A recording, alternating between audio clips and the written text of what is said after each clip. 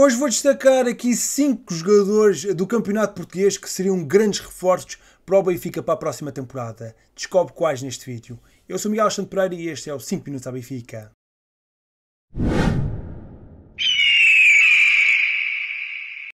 Temos então uma paragem para compromissos de seleções e aqueles que não foram convocados também tiveram um período de férias. E sendo assim, acho que vale a pena também começarmos a olhar para o futuro, se é certo que estamos na fase decisiva da temporada, uma vez que faltam oito jornadas para terminar o campeonato, temos a meia-final da Taça de Portugal e os quartos final da Liga Europa.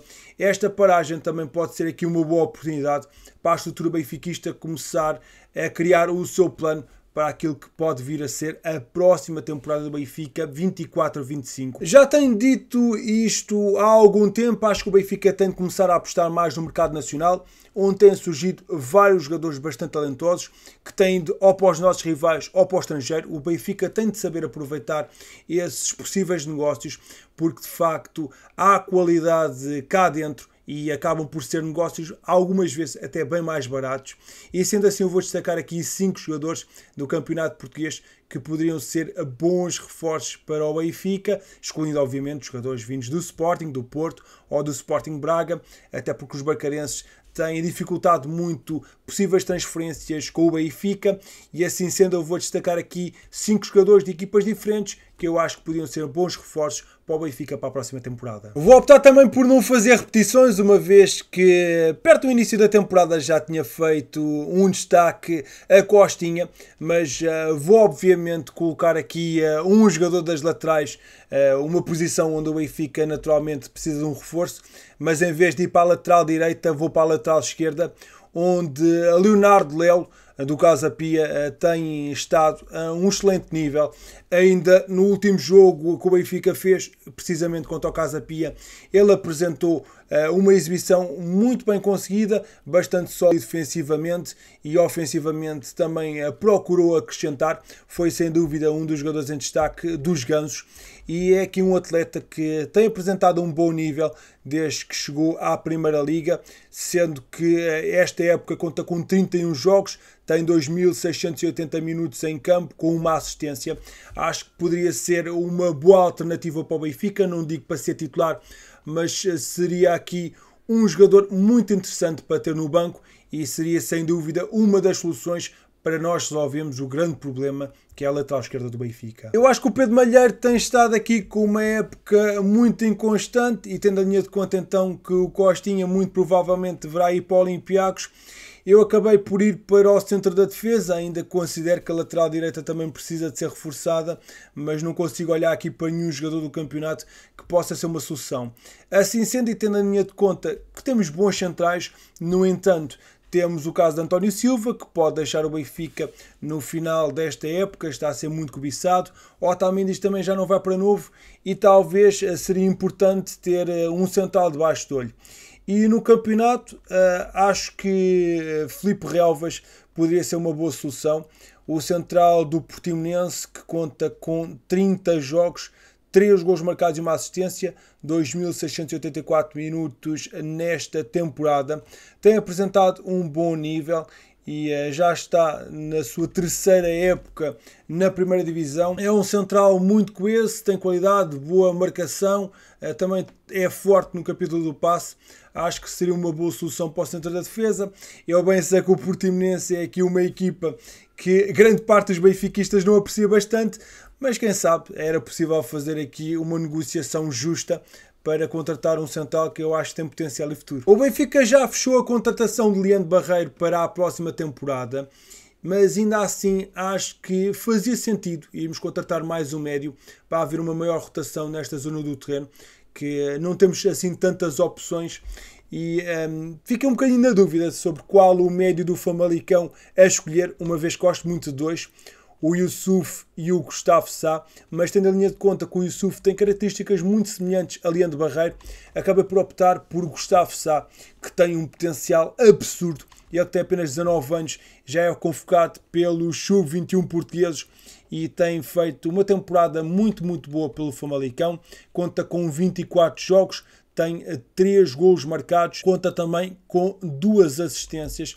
É de facto aqui um jogador de imensa qualidade, imenso potencial, tem uma grande visão de jogo, uma boa capacidade de passe, um bom remate. Acho que é um jogador que tem um futuro muito, muito bom.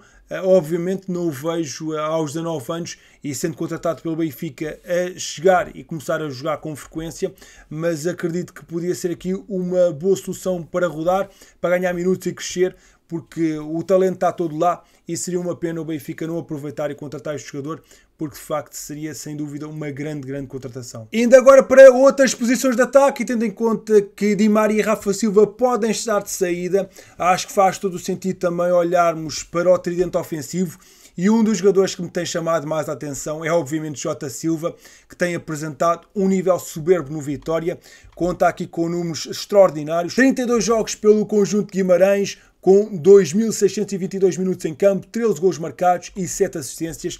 É sem dúvida um jogador que tem estado a um nível muito, muito alto, vai a 3 jogos consecutivos a marcar e foi chamado recentemente para a seleção portuguesa. Ele foi um quebra-cabeças quando jogámos com ele uh, no campeonato, apresentou sempre um nível muito alto e parece-me ser um jogador já pronto para uma equipa grande. Esperemos que seja o Benfica a ganhar esta corrida, porque de facto é um jogador uh, com tremenda qualidade, muito rápido, muito forte tecnicamente, tem um bom remate. Acho que tem todas as características necessárias para ser um reforço muito interessante para o Benfica. Ainda para mais poderá vir a ser internacional português. Não tenho dúvidas que a direção do Vitória vai pedir muito dinheiro pelo Jota Silva, mas acho que é um investimento que faz todo o sentido, tendo em conta a qualidade do jogador e também a idade dele, tem 24 anos, portanto ainda pode evoluir bastante e seria sem dúvida um jogador a contar para o presente, mas também para o futuro. Confesso que tive aqui algumas dúvidas sobre se não haveria de colocar aqui um ponta de lança, neste caso o Rafa Mujica do Aroca, que tem estado a grande nível, mas uh, tendo a linha de conta que Di Maria e Rafa Silva estão de saída, são dois jogadores do treinador ofensivo e eu não era capaz de não colocar aqui o Rafi Kitano que tem estado a grande nível no Estoril e tem-se falado também do interesse por parte do Benfica na contratação deste jogador. Ele que conta com 34 jogos no Estoril, 7 gols marcados, 4 assistências, 2.610 minutos em campo. É um jogador tecnicamente muito evoluído, muito acima da média, com uma boa finta, tem um bom remate, tem um bom cruzamento é um jogador bastante completo e eh, é um quebra-cabeças para qualquer defesa. É ele que até já foi chamado à seleção principal da Argélia e acaba por ser aqui um jogador que o Benfica tem debaixo do olho e acho que faz todo o sentido, tendo em conta a qualidade do jogador. Vamos ver se a equipa das Águias vai avançar ou não para ele, mas acho que seria também uma bela solução para o Benfica para o próximo mercado. Houve triunfo no futsal, o Benfica recebeu e venceu ontem o Torrense por 5-1 no Pavilhão da Luz em jogo da 18ª jornada da Liga, sendo a segunda equipa do campeonato a chegar aos 100 golos. Foi o guarda-redes Léo Guguel aos 11 minutos que marcou o primeiro golo deste encontro. Com o marcador inaugurado, o Benfica rapidamente construiu uma boa vantagem, com o gol de Jacaré aos 12 e Igor de Souza aos 16, ainda na primeira parte. Já no segundo tempo houve mais 3 golos. Bruno Cinto aos 32 fez o quarto Benfica, mas o Torrense ainda reduziu por eh, São Pedro aos 33, num erro defensivo por parte dos encarnados. No entanto, segundos depois, Igor de Souza aos 34 voltaria a colocar a vantagem 4 gols e a fechar as contas desta partida. Com este resultado, o Benfica mantém-se a 8 pontos de distância do Sporting Braga e do Sporting, que partilham a liderança do Campeonato Português a 4 jogos de playoff. A equipa de voleibol perdeu a invencibilidade no fecho da segunda fase do Campeonato Nacional. O Benfica foi derrotado pelo Sporting por 3-0 no derby da 14 e última jornada desta segunda etapa do Campeonato Nacional de Voleibol. No pavilhão João Rocha, o Sporting venceu com os parciais de 25-14, 25-19 e 25-19. Apesar da derrota, o Benfica fechou a segunda fase no primeiro lugar e vai ter o um importante fator casa no playoff. Na meia final do playoff de campeão, o Benfica, que somou a primeira derrota da temporada a nível interno, vai medir forças com a Académica de Espinho. Tivemos melhores notícias no Hockey Patins, onde o Benfica apurou-se para a Final Four da Taça de Portugal após bater por 1-7 o Candelária na deslocação à Ilha do Pico em jogo dos quartos de final. Os encarnados dominaram o encontro desde o início e foram para o balneário com 5 gols de vantagem sobre a equipa da segunda divisão. Já na segunda parte, o Benfica marcou mais dois gols, enquanto que o Candelária aproveitou um livre direto para marcar o seu único gol da partida. Zé Miranda destacou-se neste jogo com o hat-trick, Pablo Avares também brilhou com um bis, Nil Roca e Gonçalo Pinto também marcaram neste encontro. Já o gol do Candelária foi concretizado pelo argentino Damien Paes. As águias passam assim para as meias finais da fase final da Taça de Portugal, que se irá realizar nos dias 27 e 28 de abril no pavilhão municipal de Barcelos. Amigo, não te esqueças de participar neste vídeo e deixares na caixa de comentários a tua perspectiva. Achas que estes 5 jogadores podiam ser bons reforços para as águias? Acrescentavas mais aqui a algum jogador que tu gostavas de ver do Campeonato Português no Benfica? Estou muito curioso para ver a tua opinião. Aproveita também para subscreveres os 5 minutos à Benfica e deixares um gosto caso não tenhas feito e uh, coloca na caixa de comentários hashtag aposta nacional. Eu sou Miguel Alexandre Pereira e estes foram os 5 minutos à Benfica. Saudações benfiquistas.